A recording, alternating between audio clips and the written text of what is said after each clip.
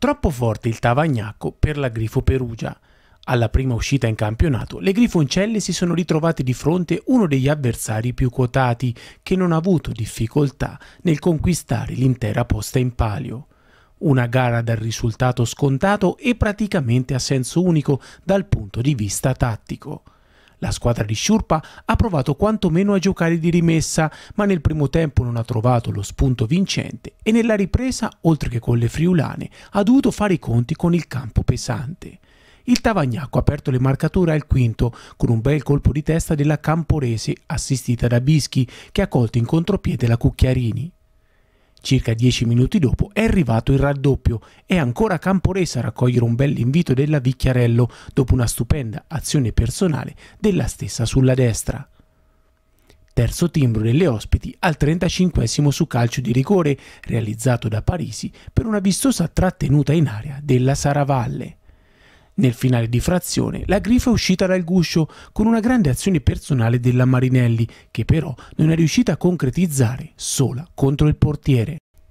Nella ripresa il Tavagnacco ha colpito ancora nei minuti iniziali, al secondo per la precisione, con un fortunato tiro cross della Vicchiarello.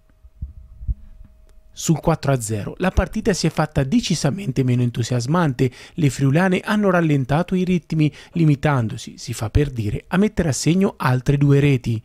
La prima al ventitreesimo con la neoentrata Zan Domenichini che ha capitalizzato un cross dalla sinistra del capitano Bromura. La seconda al 37 con un tiro dalla distanza della Parisi che ha firmato così la doppietta personale. Risultato rotondo e mai in discussione, ma forse troppo pesante per una Grifo che comunque ci ha messo il giusto impegno. Queste non sono le partite che servono per la salvezza, però sono le partite che servono per crescere e quindi eh, portiamo a casa un 6-0 che normalmente è un risultato esagerato che effettivamente poteva essere, doveva essere sicuramente minore, io mi aspettavo qualcosa di meglio ma una partita un po' nata male perché abbiamo preso gol i primi minuti, ci siamo scoraggiati, magari se riuscivamo a tenere un po' di più il risultato non sarebbe stato così ampio, però in ogni caso le ragazze sono cresciute con questa partita e io ho comunque fiducia per il futuro. Noi sapevamo benissimo di affrontare una, eh, una squadra di un'altra categoria, diciamo così. Quindi il nostro, il nostro, intento era quello di poter arrivare fino alla fine, di lottare fino alla fine e di poter creare qualcosa in più. Io credo che data l'esperienza dell'anno scorso quest'anno abbiamo fatto qualcosa in più. Abbiamo, potevamo tranquillamente prendere due o tre gol in meno dovuti un po' a disattenzioni, un po' anche alla parola dell'avversario, questo ci sta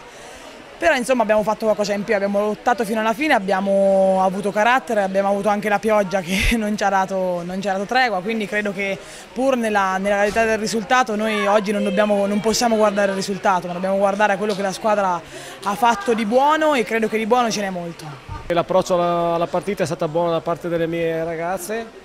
avevo chiesto questo e avevo chiesto anche di dare intensità subito alla gara perché eh, questa era sicuramente una gara di campionato, però noi dovevamo pensare anche al futuro, quindi alle partite che devono venire adesso, in cui siamo impegnati nella Champions e anche in campionato, quindi avevo chiesto di avere subito un approccio eh, molto positivo, un approccio eh, con eh, molta intensità e questo poi dopo è stato, anche se nel secondo tempo un pochino abbiamo calato i ritmi.